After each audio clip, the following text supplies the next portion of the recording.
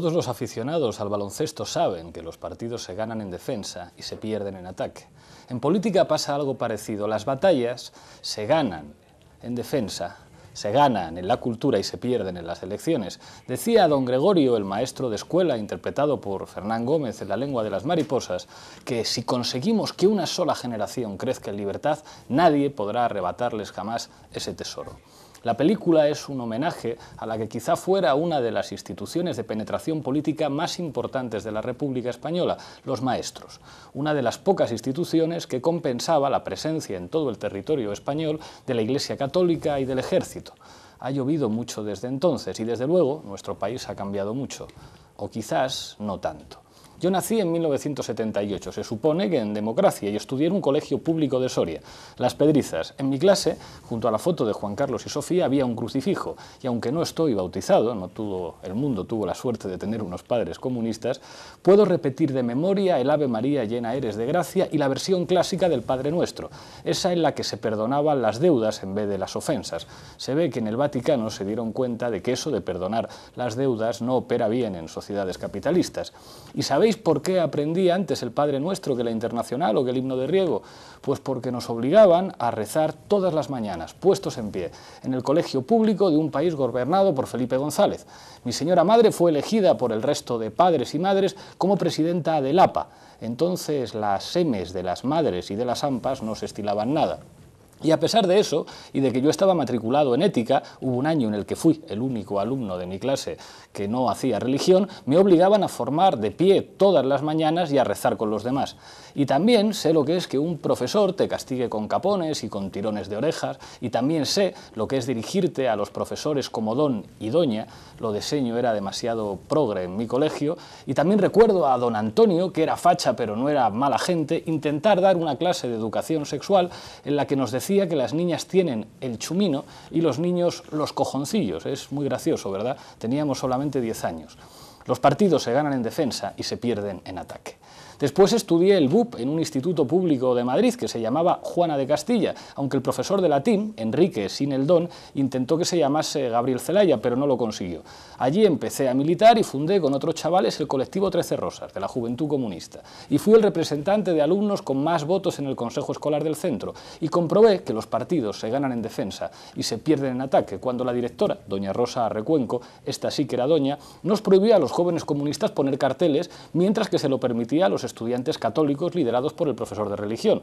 Y a pesar de tener buenas notas, me sancionaron con una falta grave de indisciplina por discutir con la directora y llamaron a mi padre al que informaron de que el centro podía hacer un informe negativo de mi conducta y dirigirlo al Ministerio de Defensa para que denegaran una prórroga militar. Entonces la mili era obligatoria. Seguía gobernando entonces Felipe González en España y me tuve que ir a hacer COU al Montserrat con una élite de hijos de progres para que no me tocaran las narices. Y allí me presentaron a la hija del presidente del gobierno que había estudiado de pequeña en ese colegio. Los partidos se ganan en defensa y se pierden en ataque.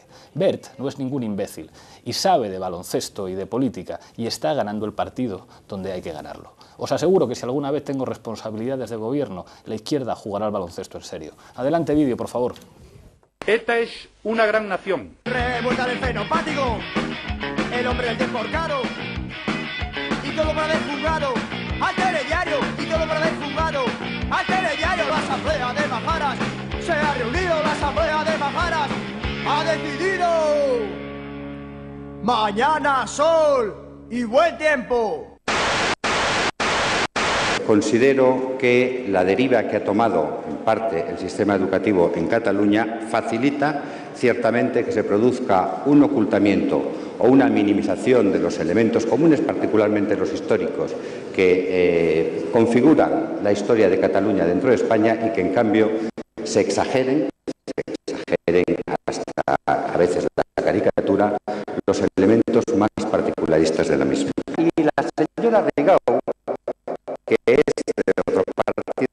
Suyo, que es de convergencia, ha dicho el otro día que nuestro interés es españolizar a los alumnos Lo ha dicho no con ánimo de elogio. Pues sí, es que nuestro interés es españolizar a los alumnos catalanes y que se sientan tan orgullosos de ser españoles como de ser catalanes. Facha, facha. Soy facha, soy facha. Hitler, Hitler. Que la familia no tiene recursos para afrontar el pago de esas tasas. Evidentemente se pueden dar casos, pero no tener recursos, pregunto una vez más, ¿qué quiere decir? Que no se quieren dedicar eh, recursos a eso en detrimento de otras posibilidades de usar los recursos en otras cosas. Y sobre la aglomeración de alumnos en la clase, pues el ministro prefiere llamarlo de otra manera. Porque hay que tener en cuenta que además de aprender, los niños en la escuela pues Gracias. Me dicen que hemos tenido problemas con revuelta en el frenopático. ¿Cómo me gustaría poder decir despedidos? Pero por desgracia en la tuerca no podemos hacer estas cosas.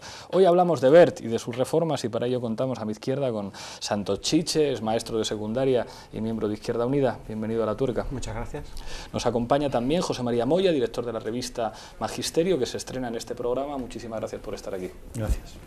Tenemos también a Julia Cámara, estudiante de Historia en la Complutense, si no me equivoco, y miembro de Juventud Sin Futuro. Bienvenida a La Tuerca. Muchas gracias.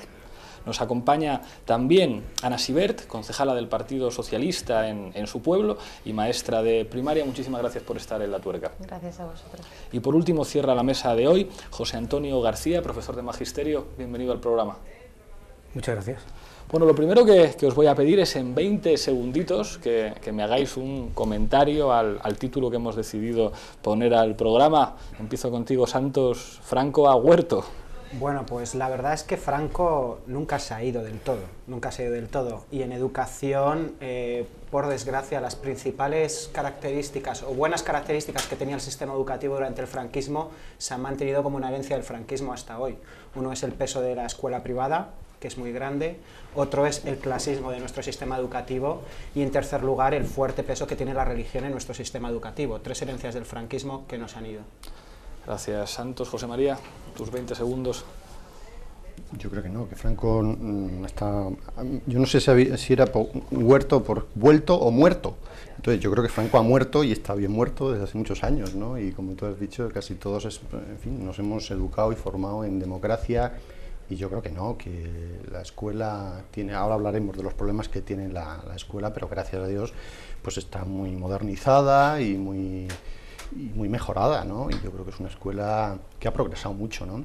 No tiene nada que ver con lo, los malos tiempos que has recordado, ¿no? Lo pasaste muy mal en los centros. Hombre, en la escuela. También yo estudié también en la escuela pública, en el Calderón de la Barca de Puerto Llano, y luego en... Yo no, yo no lo pasé tan mal, la verdad es que yo, no, yo tuve mis momentos, pero no lo pasé tan mal. Julia.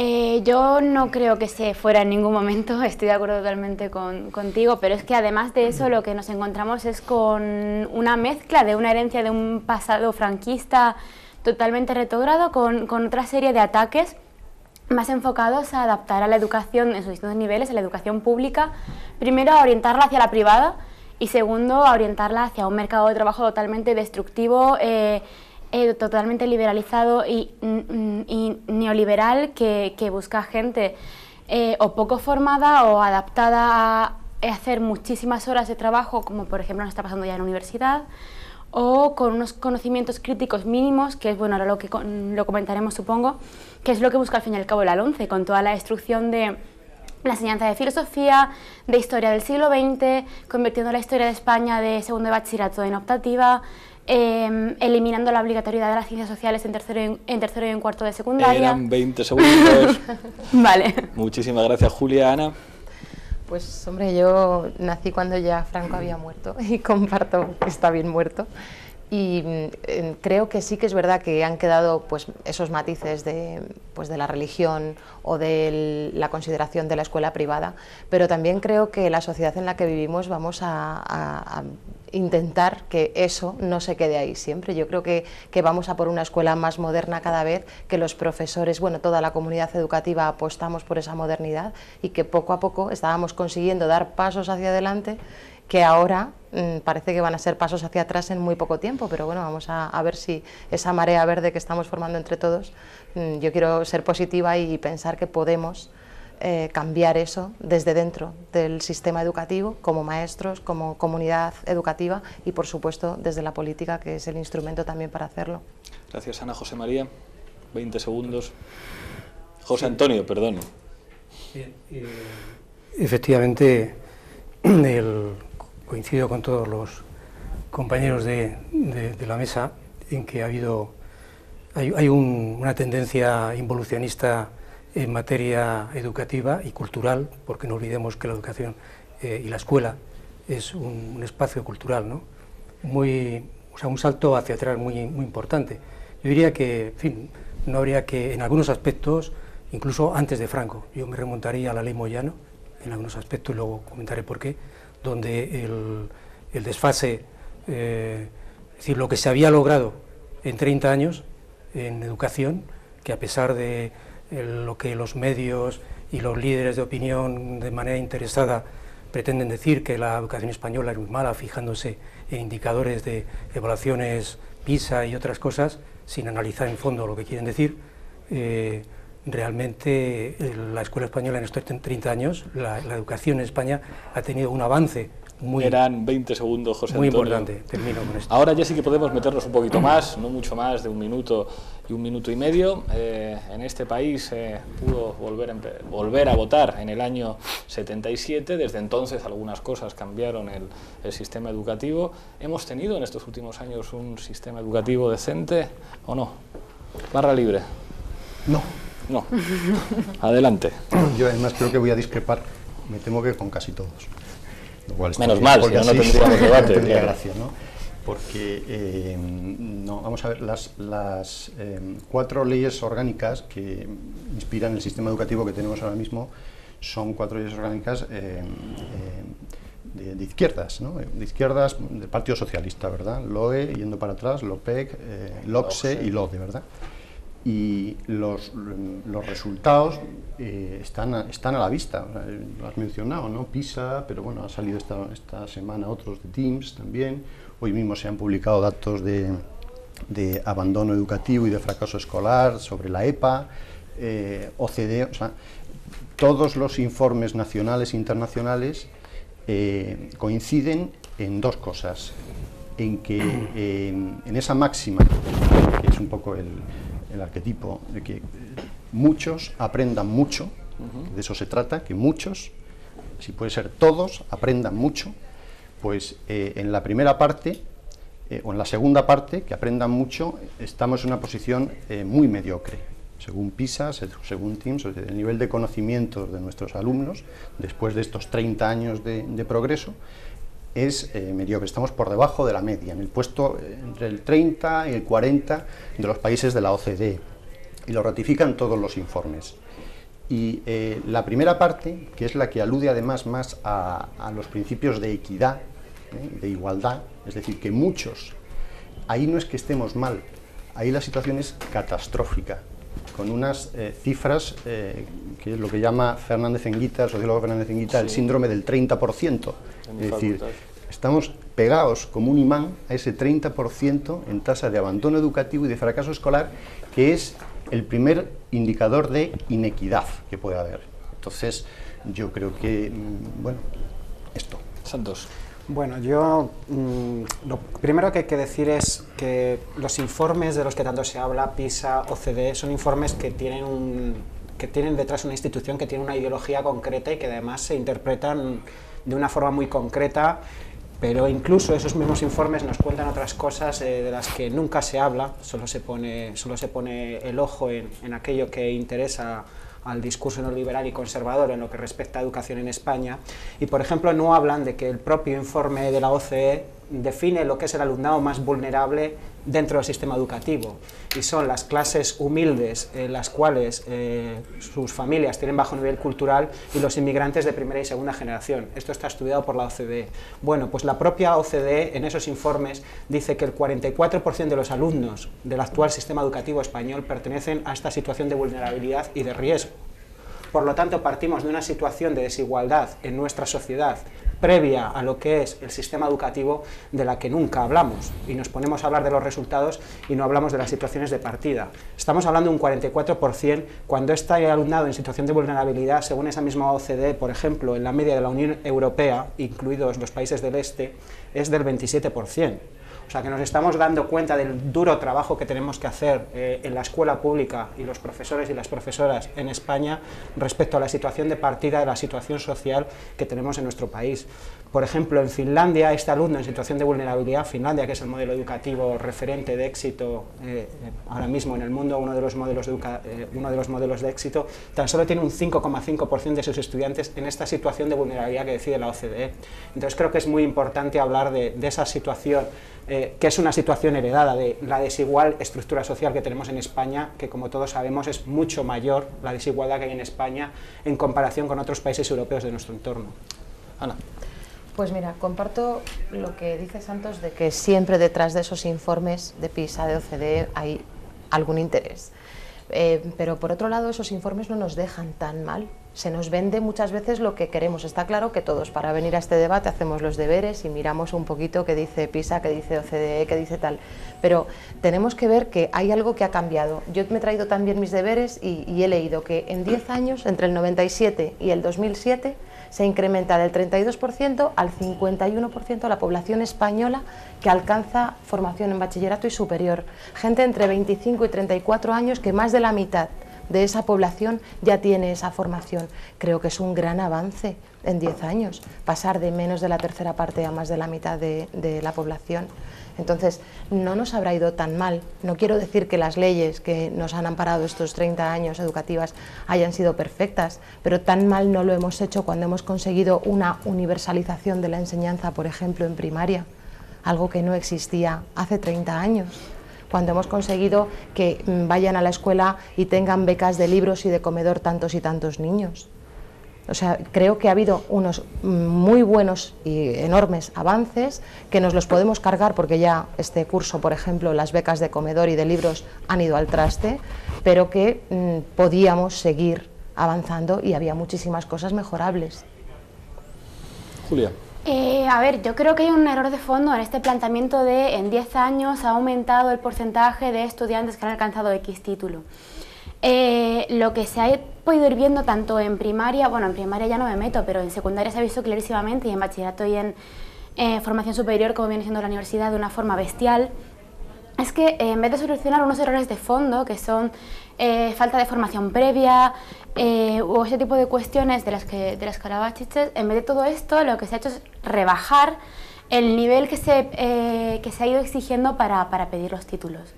Entonces, em, pongo un ejemplo, en primero de carrera, mi profesor de Prehistoria 1 nos comentaba que en 10 años precisamente, eh, él lleva probando 10 años a dar el mismo texto introductorio de análisis a las respectivas generaciones que van entrando en la carrera. Un texto que hace 10 años la gente comprendía sin ningún tipo de problema, en mi clase no hubo ni una sola persona que pudiera interpretar de una manera medianamente correcta. Eh, y todas teníamos el título de, bachillerato. Entonces, mm, no creo que la calidad de la enseñanza se puede medir eh, viendo si tienes o no el título, sino qué hay detrás de ese título. Eh, la prueba es que con, con, la LONCE, si finalmente esto sale adelante, la gente que al final alcance el titulado en eso no va a tener los mismos conocimientos que, que, la gente que la está sacando ahora, pero sí tendrá el mismo título. Entonces yo no, no, no equipararía por, por títulos, ¿no? Eh, y, no sé, básicamente eso. Y el tema de, los, de, las, de las encuestas, de los informes, también ver un poco a qué se refiere cada, cada institución o cada organismo cuando habla de calidad, cuando habla de excelencia. Que la NECA esté evaluando la excelencia académica en función de si cumple o no expectativas económicas a corto plazo, para mí eso no es, no es académica, no es eh, excelencia cultural, no es excelencia académica. José Antonio. Sí, yo creo que puedes para... interrumpir, ¿eh? que estoy sí, no, no, pero, pero, como no Sí, para poder, digamos, eh, situar, eh, en fin, en, en, el contexto eh, el tema, eh, hay que efectivamente saber, ya se ha expuesto aquí, de dónde partimos, eh, cuál es, decir, no se pueden analizar los datos de un informe, por muy relevante y riguroso que sea, de PISA, eh, o cualquier otro, el TIS o lo que sea, tomándolo cuando lo que está analizando son datos mmm, que evalúan eh, en términos absolutos un, unas determinadas competencias, ¿no? como puede ser la comprensión lectora o la resolución. Hay que mirarlo de una manera más global. Y entonces eh, yo mmm, creo que, aunque, en fin, podemos poner en cuestión el tema de si se ha rebajado el nivel de, de estudios, mirado globalmente, o sea, con, con, una mirada macro, el sistema educativo español es mucho mejor que hace 30 años. La situación, es decir, eh, creo que es de, de, de, dominio común ya, es decir, que las generaciones jóvenes actuales son las mejores formadas de la historia. Y eso no se ha improvisado.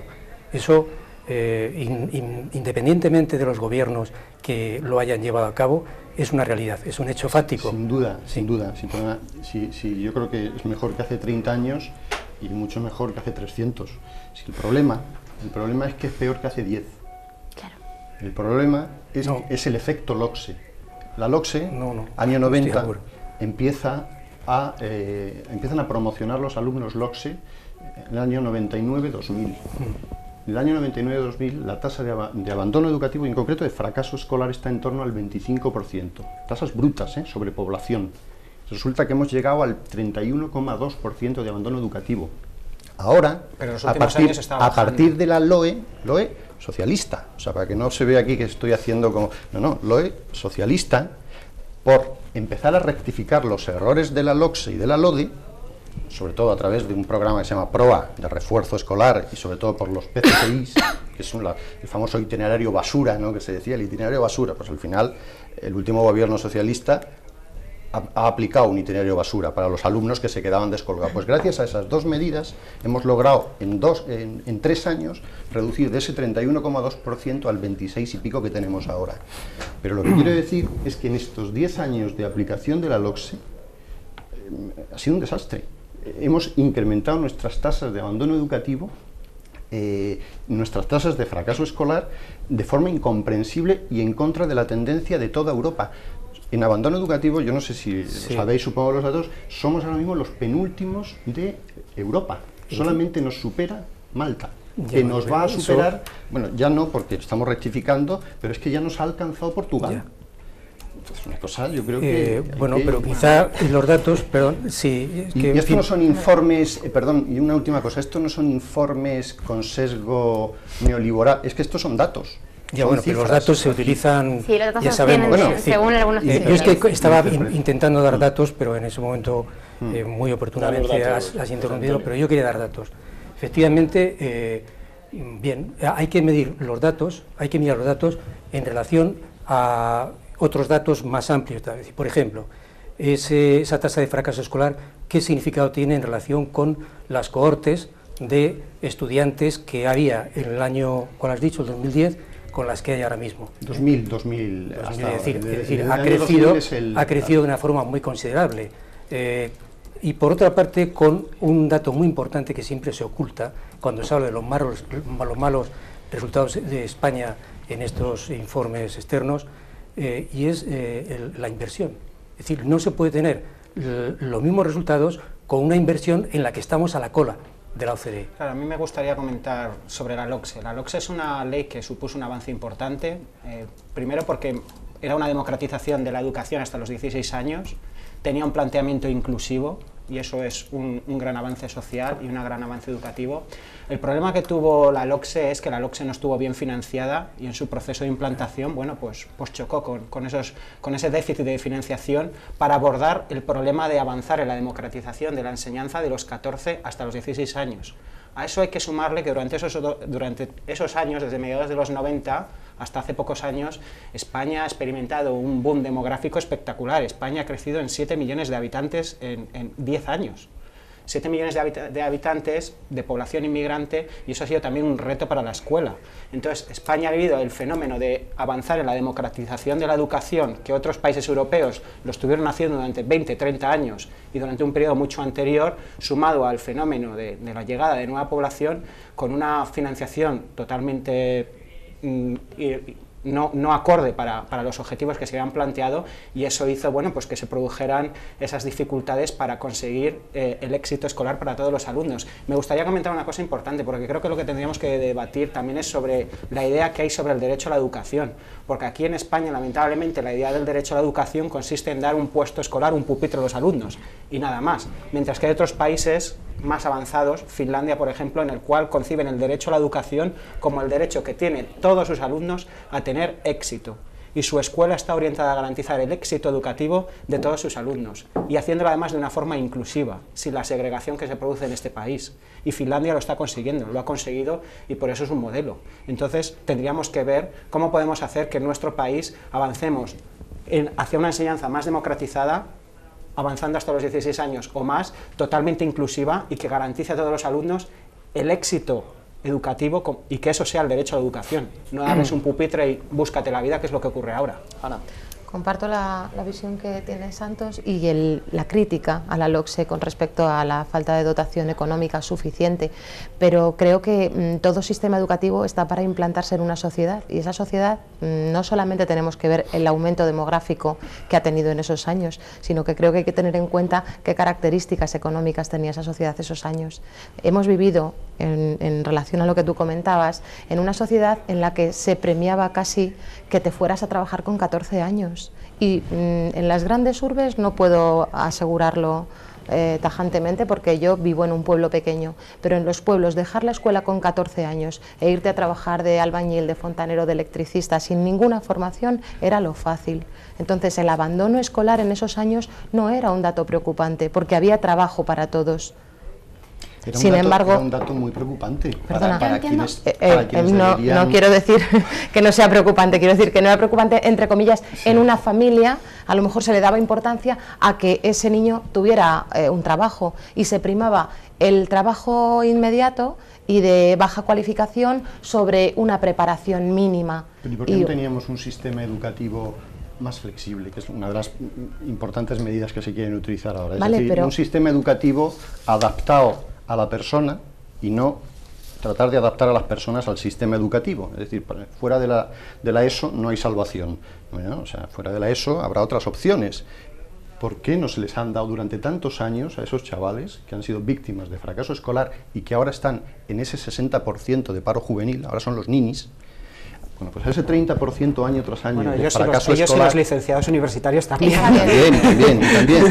O sea que precisamente se ha publicado esta semana un informe donde se vincula baja cualificación, baja formación con desempleo de una forma muy radical. Pero es que a mí me hace gracia ahora que se vincule, que se vincule, que se culpe a, la escuela en España del paro, como, como está haciendo el ministro de Educación, y me, parece, me parece, alucinante como a la educación me, da, me parece como si la economía especulativa que ha habido en este país y toda la especulación que hemos venido y toda la, toda la generación de la burbuja inmobiliaria hubiera sido una creación del sistema educativo y el sistema bancario y todo lo que ha ocurrido con las élites económicas de este país, no hubieran tenido nada que ver eso. Me parece tener bastante cara dura y poner, utilizarlo además como excusa para hacer una ley educativa que lo que quiere hacer es, en vez de intentar conseguir el éxito educativo para esos alumnos, que ese ahora mismo, ese 20 y pico por ciento de alumnos que no, que no titulaba eh, en la ESO, en vez de ver cómo resolvemos, pues coger y hacer una flexibilización, como tú has dicho, pero para segregarlos para segregarlos, para mandarlos a una formación profesional básica que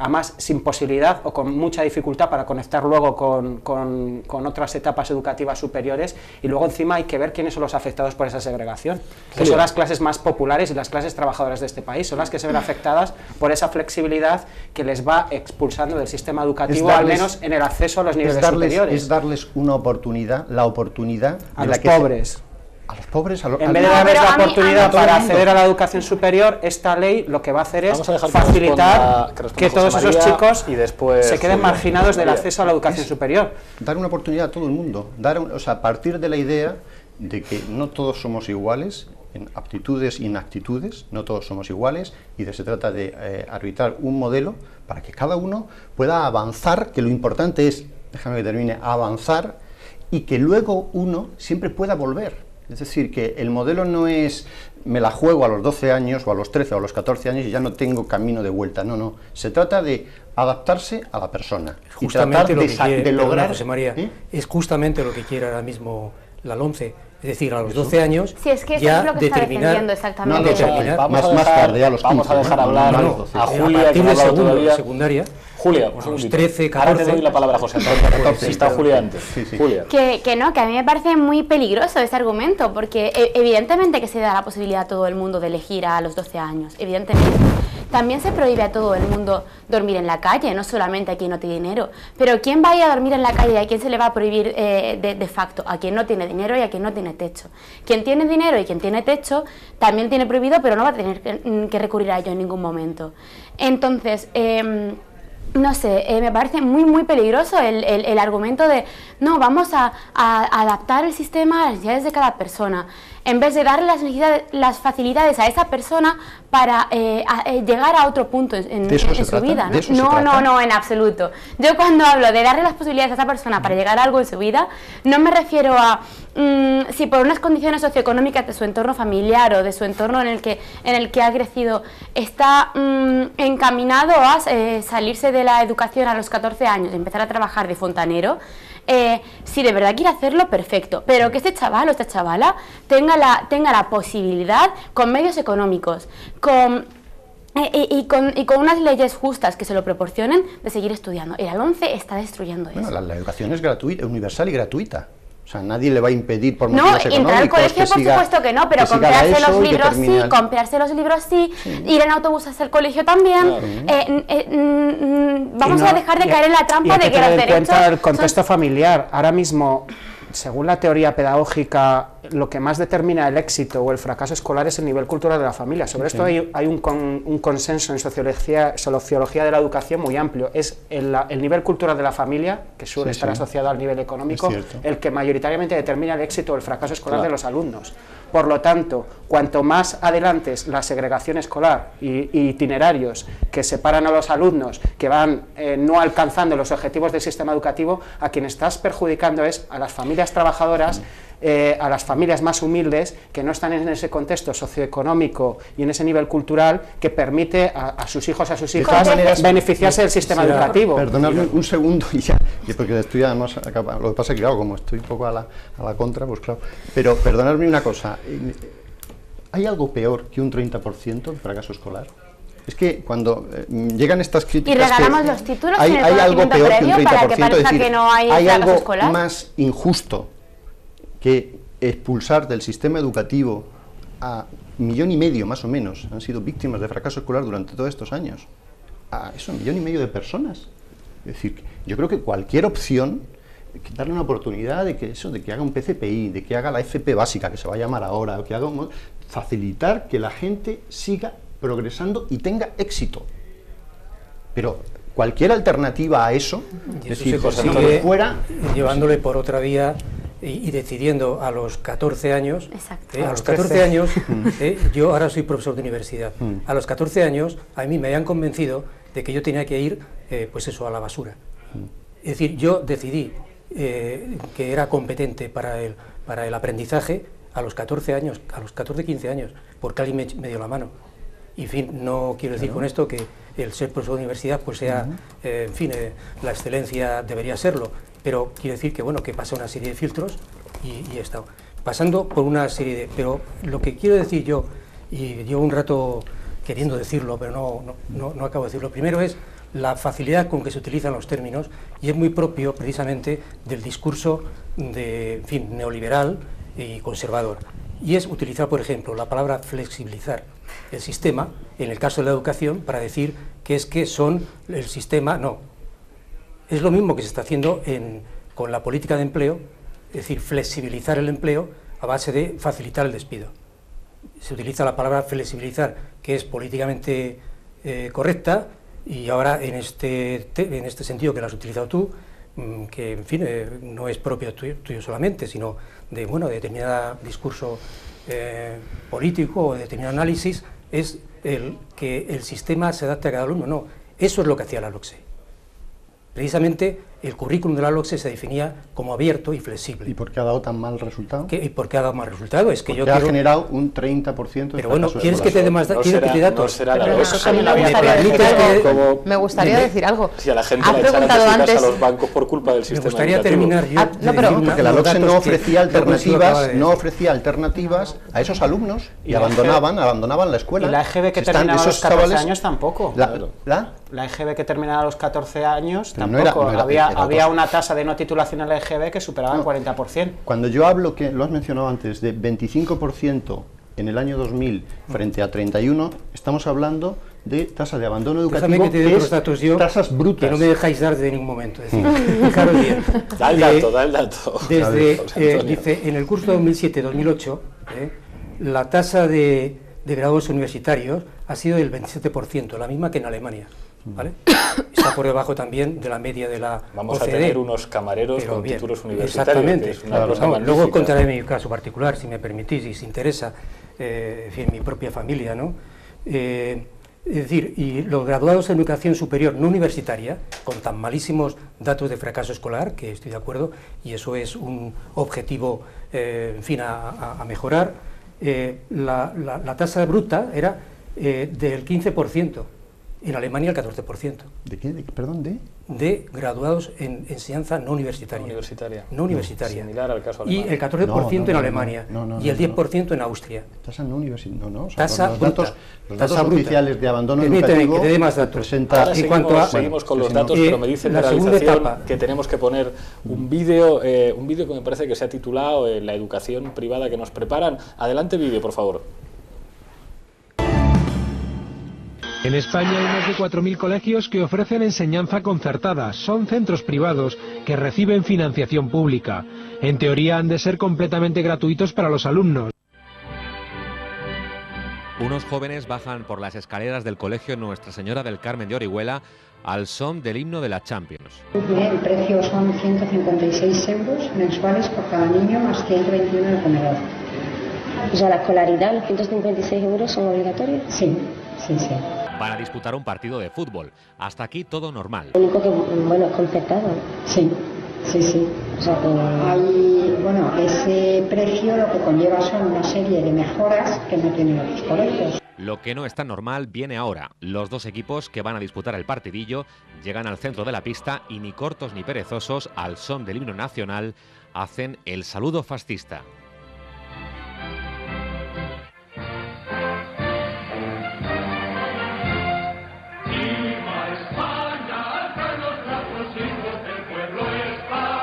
si no quisieran pagar, no pagarían. Pero entonces, cada dos por tres, a su hijo tendríamos que entrar en clase y decirle, a ver, usted habla en inglés, fuera. A ver, tú solo puedes estar en esta parte del pacto, porque todo lo demás se apaga con todo el resto de la población.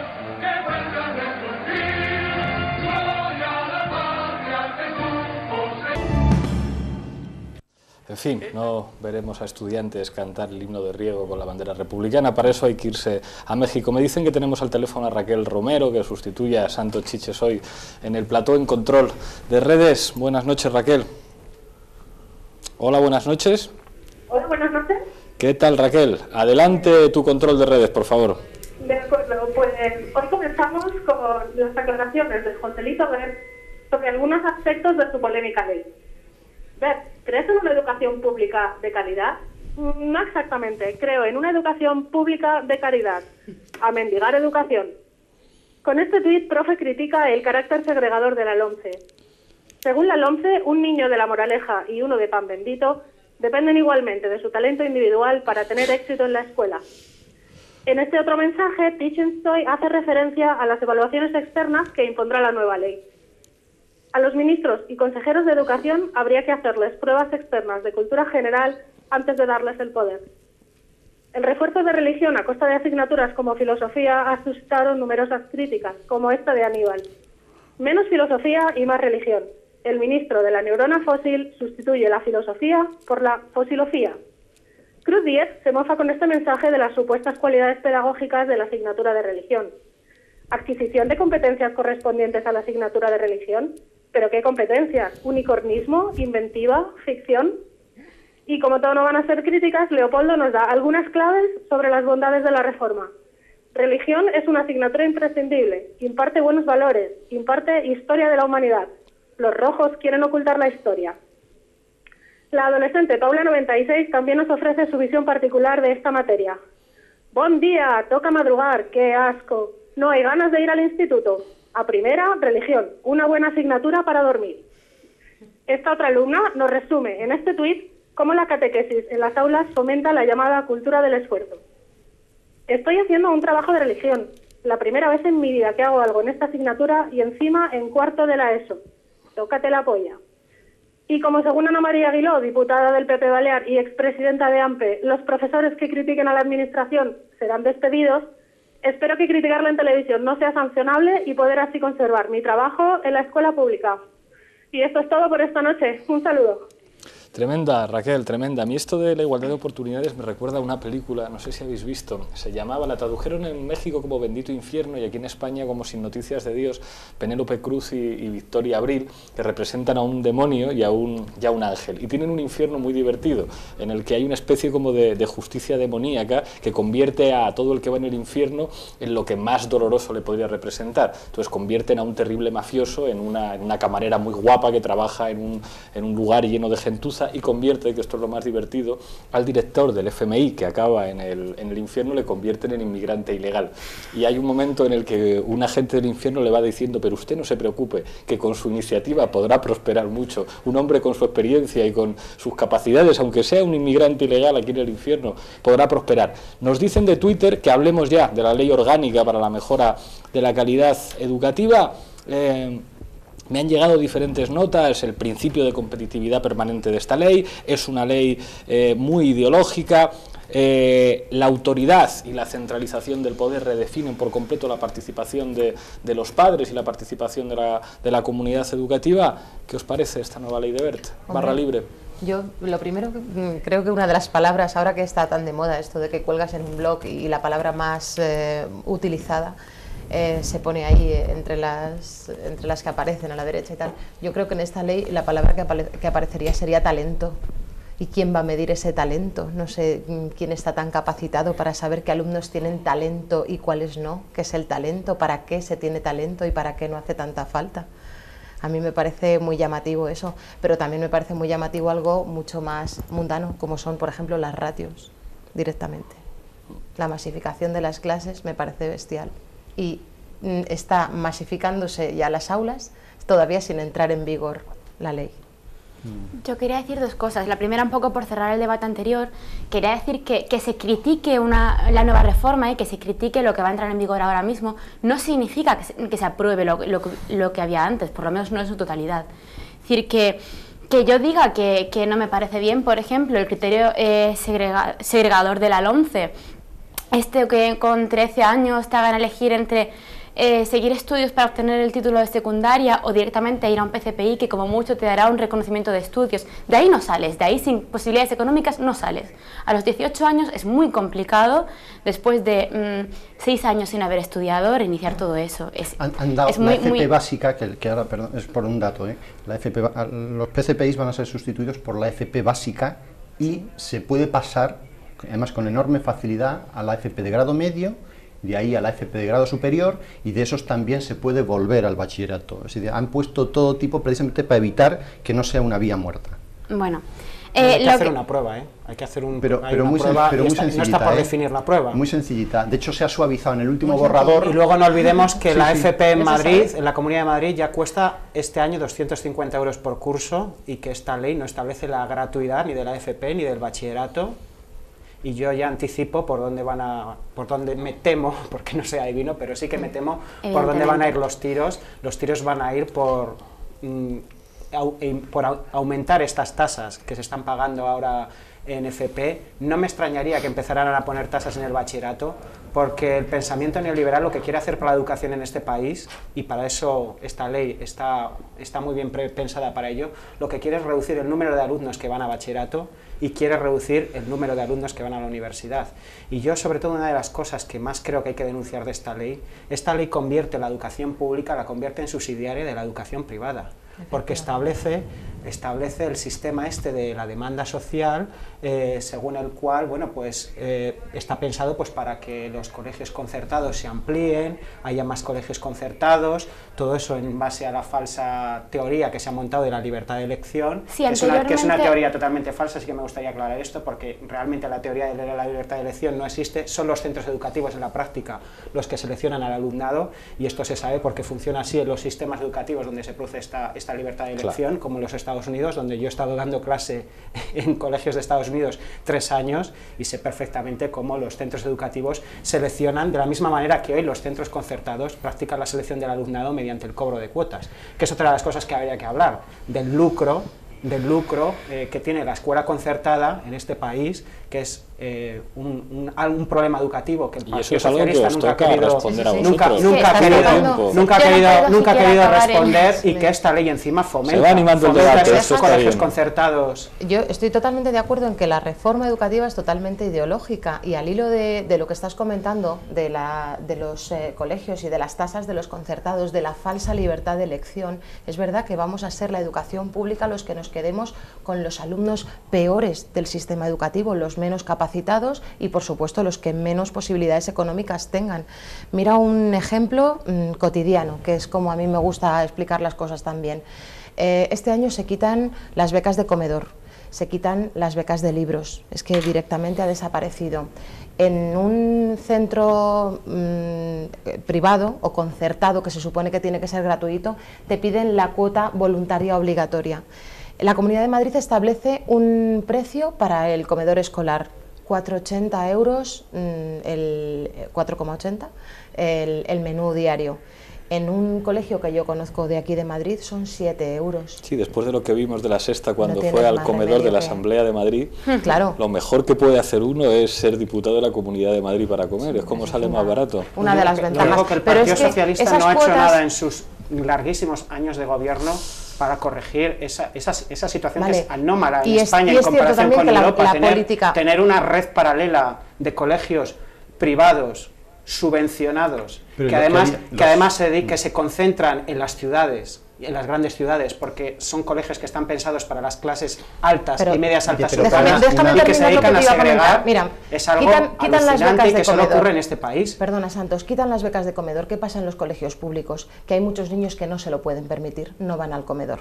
A nosotros antes nos costaba Y muchísimo. les cobran por el tupper, por llevárselo para calentarlo en Lo que pasa ¿no? es que les dan autonomía a los directores para que puedan poner el precio que quieran del precio de comedor. ¿Qué hacen los directores? Y, y entiendo en parte esa actitud que han tomado, pues que suben todo lo que pueden, lo que piden por los tupper, porque a un director lo que le interesa es que todos los niños coman de la comida de, de la empresa de comedor, porque por Claro, pero es que seguridad, es un director o un por gerente de una empresa, o sea, es que es sí, es que alucinante. casi es a lo que estamos yendo, pero pero, Pero ya Y ahora que los van a hacia nombrar anteriormente, directamente desde pero el lo que yo decía era eso, que el, el que el, el que ataquemos ahora mismo la 11 no significa, en mi caso por lo menos, que se defienda lo que había anteriormente. Eh, y por, por eso te ponía el ejemplo de, de la elección en, en- en segundo de, de secundaria.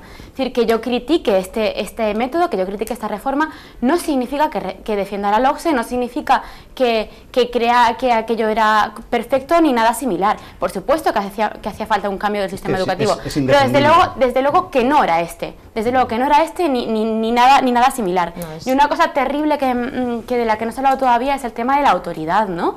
De cómo se, se carga cualquier tipo de organismo democrático dentro de la escuela, que ya está pasando en la universidad, que ya está pasando, por ejemplo, en, en Cataluña con el tema de, de órganos externos eh, presididos por eh, personas importantes de grandes empresas, eh, vigilando cómo actúa el rectorado y así, y que lo que está pasando ahora mismo es que, es que en la LONCE se carga todo tipo de poder decisorio que tenía el claustro, que tenía el claustro, que tenía el consejo escolar, el consejo escolar ya tenía un poder de- decisorio mínimo. Yo en mis años de, mm, de instituto como alumna estuve en, en el consejo escolar y la- las posibilidades que teníamos de, de maniobra eran mínimas, pero es que lo poco que del poco el mínimo resquicio que quedara ahí ahora mismo desaparece. Y Nosotros, ejemplo, con, el incidente de que- que además el sí. director eh, es, o la directora es alguien impuesto desde fuera. Entonces me, me parece bastante, bastante preocupante. Una pregunta que, que- que mí, mm, os hago. ¿No, no compartís el derecho de la libertad de elección de, de enseñanza que está reconocido en la Constitución? Pero aparece en el 11, ¿alguna vez ha parado el derecho a la educación? ¿Él? ¿Aparece en la LONCE alguna vez el concepto de derecho a la educación? Es que se está asumido, Es está, que- está no asumido me- el derecho a la educación. Sí, hay Cualquier ley tiene una- voy a responder tiene- una declaración de una muy buena respuesta. Y en la LONCE no aparece en ninguna parte ¿Sabéis el cuántas término veces- derecho a la educación. En el, en el Yo tengo que es en el borrador de la LONCE, ¿sabéis cuántas veces aparece la palabra libertad? La, la neoliberal palabra libertad. Una vez. Bueno, yo de todas formas, Claro, si me permites, no te, voy a, te voy a Lógico. contestar a esa, la pregunta Sí. de la, la libertad de elección de centros solo tiene sentido Mm. cuando existe desigualdad entre los centros educativos, cuando existen centros de diferente calidad educativa, cuando existen centros segregadores para distintos tipos de alumnados. Cuando se producen esas diferencias es cuando tiene sentido la, la libertad de elección, porque se produce esa, esa competencia Claro. en la cual siempre ganan las familias más pudientes y las familias con más recursos, una competencia que además en educación es perversa porque consiste en huir de los alumnos más pobres, consiste en que las familias de clase media y clase alta quieren ir a centros exclusivos donde no tengan que estar con los alumnos más pobres y lo que es eh, enormemente triste es que encima eso esté sostenido con fondos públicos. Es decir, que las perversiones, las perversiones que se puedan producir en la competitividad dentro de la sociedad, esas perversiones se fomenten por el Estado. complicado. Y eso, y eso- eso es lo que me dicen- parece que es alucinante. Ahora es me dicen que tenemos al teléfono a un profesor de filosofía de la Complutense, porque también nos han dicho que, que la filosofía y los filósofos tienen un problema con el ministro y hemos decidido llamar a Luis Alegre para darle un minuto para que nos hable de ver. Buenas noches, Luis. Eh, hola, buenas noches, Pablo. Pues adelante tu minuto. Ah, bueno, eh, tenía un minuto nada más. Bueno, pues nada, es que, claro, también... Que claro, darle a un filósofo un minuto es terrible. Un minuto. Nada, nada, se elimina, se elimina la, la filosofía también de, de segundo de bachillerato, eh, las lo exprimen por completo como troncal, no es obligatoria ni siquiera para, para las humanidades, eh, y van a poner a todos los profesores a dar la alternativa, la alternativa de religión. Todo es en realidad el resultado del pacto al que ha llegado el ministro Ver con, con la Iglesia, que como se sabe, bueno, pues no ha negociado la reforma educativa nada más que con la conferencia episcopal, y entonces como hay que dar alternativa, alternativa a la religión, eh, han decidido poner a todos los profesores de filosofía a dar, a dar valores, valores éticos y en, por ese camino destruir, destruir la, filosofía segundo bachillerato que va a dejar de formar parte de, de la educación pública. En ese sentido quería bueno también aprovechar para decir que, que el día 18 vamos a convocar un gran acto en la Facultad de Filosofía de, de toda la comunidad, de toda la educativa en, en rechazo a la ley a la ley Wert, eh, y ahí bueno pues pues pues trataremos de, de que sea el pistoletazo de salida una gran ola de movilizaciones contra contra la ley que plantea el ministro. Muchísimas gracias, Luis. Has aprovechado maravillosamente este minuto que, que te hemos dado. Vuelve a tus lecciones de estética. Te querremos pronto en el programa. un abrazo, Pablo. Un abrazo. Eh, fijaos, vamos a poner un vídeo ahora que me ordenan desde realización. Hay profesores que ganan muy poco, que ganamos muy poco. Yo soy profesor titular interino a tiempo parcial desde hace cuatro años en la Complutense y, y mi nómina nunca llegó a los 1.000 euros y últimamente no llega ni siquiera a, a los 900. Hay otros profesores de mi facultad que ganan mucho más. Uno de ellos se llama Moral Santín y como, y como directivo de Bankia ha ganado muchísimo más dinero de lo que podría ganar un profesor en un montón de años. Y resulta que ayer un grupo de estudiantes, pues digamos que se molestaron con el, con el profesor Moral Santín y ocurrió lo que van a ver. Adelante vídeo, por favor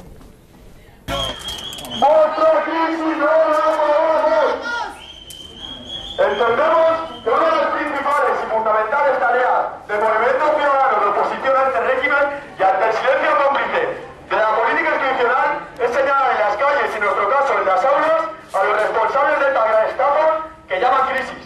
Tenemos que comprender que no se trata de una mala suerte o gestión desafortunada, es el desarrollo consciente de una determinada política al servicio de los intereses del 1%, ese que se enriquece cada día más mientras todos los demás nos empobrecemos. José Antonio Morales Santín es provisor de nuestra facultad y responsable directo de los desmanes que han conducido a la situación actual. La entidad donde este señor era miembro del Consejo de Administración se dedica actualmente y se ha dedicado durante estos años a echar sistemáticamente a la gente de sus casas por las decisiones que ha formado parte. Hablamos de Bankia, esta escasa de ahorro que se ha ido convirtiendo poco a poco en un dispositivo de chantaje a las personas que han tenido que asumir vergonzosas hipotecas para acceder a un derecho constitucional como es el de la vivienda.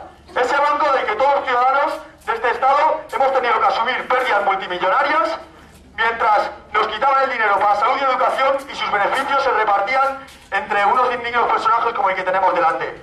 No nos importa legalmente lo que vaya a pasar en el juicio al que tiene que acceder mañana. Nos importa que respondan ante la ciudadanía, que es a la que le están quitando. La educación, la sanidad y la están matando a recortes y de la que se supone que usted era representante. Señalar con el dedo a estas personas es una, es una de las tareas principales de este movimiento y es parte de una posible solución. Cuando quienes supuestamente deben representarnos y están directamente relacionados con escándalos como el de Bankia y de esta macroestafa, que nos empeñan, que se empeñan en llamar crisis, debemos señalarlos y acusarlos públicamente. Usted es culpable y no vamos a dejar que pase tranquilo por nuestras calles y por las instituciones públicas a que está defenestrando con sus decisiones, mientras el año pasado ganó más de 500.000 euros. En fin, los viajes de algunos admiradores de la Unión Soviética a los consejos de administración de Bankia, a los que permiten a algunos que coticen se les debería caer la cara de vergüenza. Nos quedan diez minutos de debate. Tenía la palabra Ana. Adelante. Yo quería eh, terminar con esto de, los colegios y por dónde creo que va a ir el tema de, la elección de centros y de la LONCE. Eh, a nosotros siempre nos han pedido que justifiquemos mucho cuando un centro era de jornada continuada. Para un centro público era muy complicado tener una jornada de, de 9 a 2, de 2 a 4 comedor y de 4 a 6 actividades extraescolares. Y en, mi caso, por ejemplo, que trabajo en uno así, estaba muy justificado por un AMPA activo, por un AMPA que proponía muchas eh, actividades por las tardes para los chavales. No es el mismo caso que mm, una función de guardería que tengan que estar los niños. Entonces, ¿qué pasa? Que de repente este año en la Comunidad de Madrid, que es avanzadilla de todo este cambio ideológico educativo, eh, nos dicen que podemos cambiar cuando queramos. ¿Qué es lo que va a pasar? Pues que los padres en los, lugares, en las ciudades, en las grandes urbes, donde sí pueden elegir entre centro público y, privado, concertado, no olvidemos que hay muchos pueblos en los que no se puede, eh, van a poder elegir esos centros privados o van a verse obligados, empujados hacia esos centros privados en los que tengan que pagar su cuota obligatoria voluntaria, pero que les va a garantizar que esas horas que ellos están trabajando tienen a sus niños eh, pues de alguna manera recogidos, ¿Pero por qué los centros públicos no ofrecen también jornada partida para ofrecer un servicio...? Pueden ofrecerles. En Rivas Vacia Madrid, eh, que hay 27 mm. centros educativos públicos, eh, hay, hay 14 colegios de educación primaria, infantil y primaria, y los 14 tienen la jornada partida. Entonces, y la jornada partida pueden, ofrecer, pueden ofrecerlos es cierto que en, los colegios concertados eh, se, impone, se impone esa jornada mm, partida y bueno, pues eso facilita a las familias pero, que pero los colegios públicos pueden y deben. Pero y, deben, mira, te digo dónde está. la es la administración es la administración educativa la que tiene que garantizar que los colegios públicos puedan ofertar los servicios que la comunidad requiere. Eh, Cuidado, porque por un lado está... un segundito a José eh, quiero insistir en una idea que me parece clara, porque podemos encontrar argumentos mil para defender o para atacar eh, un proyecto de ley, pero mm, aparte de que es un programa a cumplir, independientemente de que exista necesidad o no de mejorar un, un servicio público, es que hay Mm, cosas que se dicen en el 11 que es que son muy, muy claras y que deberíamos tener en cuenta. Es decir, cuando se habla en el 11 de que los servicios educativos dependen más de los resultados, es decir, del output, que del input, eh, ¿qué, es lo que se está, decir, se está diciendo que vamos a invertir menos, porque el input son precisamente eso, los presupuestos, las plantillas docentes, los recursos que se ponen, y los resultados es precisamente para poder justificar la necesidad de una reforma que a lo mejor no era tan necesaria, que por otra parte eh, supone el, dar un vuelco otra vez a las familias, a los estudiantes, cambiando el sistema cada, cada vez que... Entonces esto, por eso decía yo volver a, Moyano. Es decir, en el siglo XIX venían los liberales y se imponía una determinada política en, en, lo que fuese, venían los conservadores y, se ponía la otra. Entonces, estamos en ese juego. Y a mí me parece que es muy peligroso. Los propios que ahora están defendiendo la LONCE eh, atacaban eh, el hecho de que, eh, en fin, se cambió la, la LOCE cuando, cuando entraron a gobernar el otro partido mayoritario, ¿no? Y bueno, pues ellos hacen lo mismo. Cuando se habían negado a una oferta de pacto educativo que está reclamando toda la sociedad española. o, bueno, o por lo menos una parte bastante significativa. Eh, Sobre los colegios, sobre los colegios privados y los colegios públicos, yo creo que más, más allá de qué tipo de jornada oferte cada uno de ellos, el principal cambio es que eh, anteriormente, cuando existía una demanda demográfica de un nuevo centro, de un nuevo centro educativo, era la administración pública quien debía, quien debía cubrir esa demanda. Y luego, si había un grupo de personas que querían crear una institución privada eh, por su cuenta ofreciendo X tipo de servicio diferenciado, vale. Eh, el ALONCE lo que hace es quitar esta condición. Y, y- y dar igualdad a la hora de cubrir esa demanda demográfica a lo privado y a lo público. Y es- ese es el problema para mí. Es decir, si, si, los, si los colegios públicos actualmente no están ofreciendo eh, jornadas continuas, habrá que ver por qué y, y suplir ese problema. Pero más allá de eso, el problema es que ahora mismo hay, mm, se abre una, una veda, de pronto se declara la veda abierta a la aparición como setas de, de, colegios, de colegios privados que mm, quiten posibilidad de, a los públicos. Eh, porque si cuando hay una demanda demográfica la cubre una privada, ya no hay necesidad de un nuevo público. No, pero ¿por qué no? Eso, o sea, lo que, lo que trata el, el- borrador, la idea de, de fondo, es eh, el que realmente el protagonismo de, de escolarizar a, a los alumnos, o a los hijos, sea de las familias, o sea, que no sea el, el sistema el que imponga dónde tengo yo que llevar a Ah, mi hijo. Entonces, que- por se amplíe las posibilidades y lo que hay que hacer, perdón, una- un asunto, y lo que sí que, evidentemente, la, eh, hay que garantizar que se juega limpio. Es decir, que todo el mundo, la red pública, la red privada y la red concertada, y ahí yo me pongo el primero. Es decir, que si hay prácticas abusivas por parte de los centros concertados, que la inspección tiene que actuar. Pero no es La cuestión de la inspección tiene que práctica, es cuestión de que cuando te Y- ponen pero, una cuota pero- de pero la libertad, yo creo que a estas alturas de Yo lo que quiero, yo lo que quiero es denunciar el negocio planteamientos de no que se maquilla con el discurso de libertad, porque en el fondo es un negocio, porque los centros concertados no tienen ningún interés por implantarse en la red rural, porque en la red rural los colegios son deficitarios, no pueden cobrar cuotas, no pueden hacer dinero y no pueden lucrarse. Por eso en la red rural no existen los colegios concertados. Efectivamente. Entonces, los colegios concertados solo tienen interés en instalarse en las áreas urbanas, en las grandes ciudades y encima especialmente en aquellas provincias donde se concentra eh, la mayor riqueza, las- las- la gente con más dinero, porque es donde pueden cobrar más cuotas Claro. y donde pueden hacer más dinero.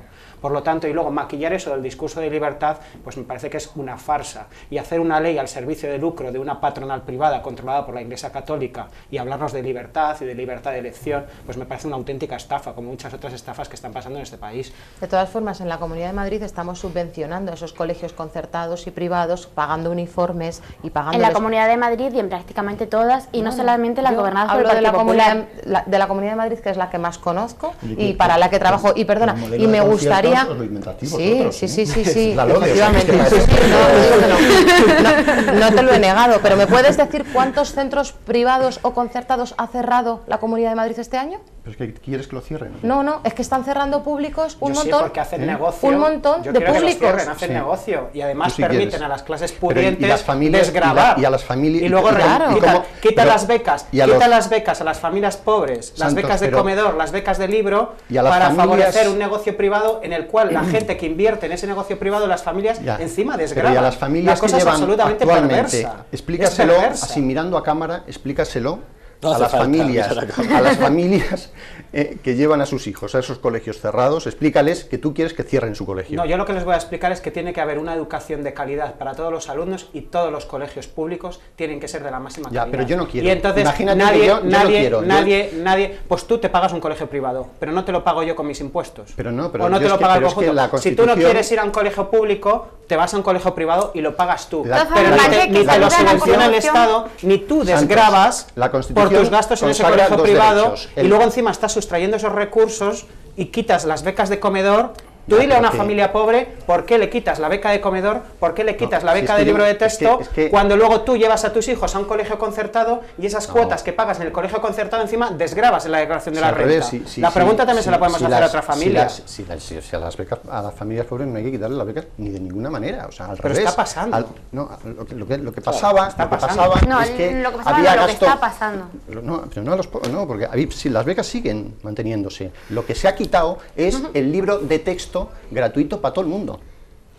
¿Sabes lo que cuesta pues un libro de estoy de texto? acuerdo, ¿Y sabes parece- cuánto parece- cuesta- Eso en ¿Os Madrid no parece? lo había, ¿eh? ¿Eh? En Madrid no había libro Para de casi texto. todo el mundo. Para casi todo el ¿Sabes mundo. cuánto cuesta un libro de texto y cuántos libros de texto muchísimas necesita un alumno de segundo de secundaria Y al el año? comedor, el comedor prácticamente gratuito Lo- lo para casi sabes. todo el mundo. No es cierto eso. Para casi todo el mundo. No es cierto. Porque mi hermano, cuando en la época en que tanto mi hermano como yo estábamos en el instituto, mis padres tenían que gastarse a lo mejor 350 euros por cabeza. A principio de curso para poder comprarnos unos libros de texto que en ningún momento han sido gratuitos para nosotros.